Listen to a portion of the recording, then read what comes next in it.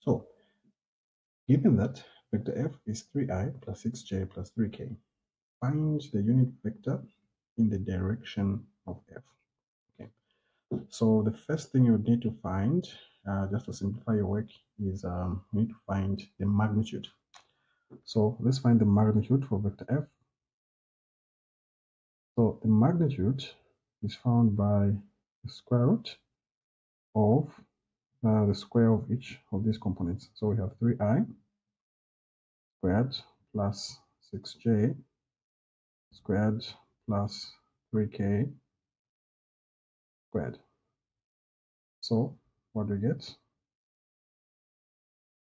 This gives us a 9 plus, uh, 36 plus another 9. Remember, 3i squared is 9. i squared is 1, j squared is 1, k squared is 1. Okay, so from there now, uh, we're just supposed to add up everything. So if we add 9 and 9, we get 18.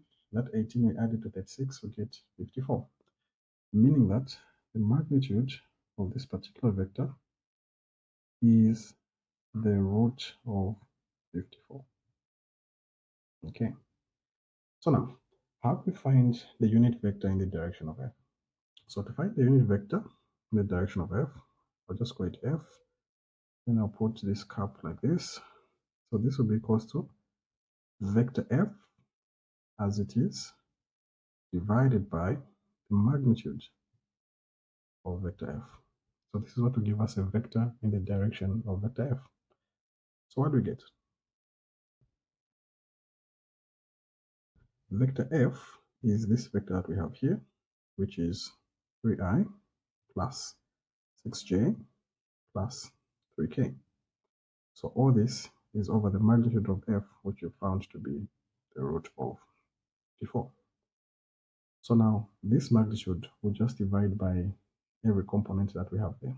So f, which is a new vector, which is in the direction of the original vector f, will be equals to 3 over the root of 54 i plus 6 over the root of 54 j plus 3 over the root of 54 k. Like that. So this is the vector we're looking for. The vector in the uh, direction of f. And it's a unit vector since we still have the i the j and the k so that's like that. There you have it. Thank you very much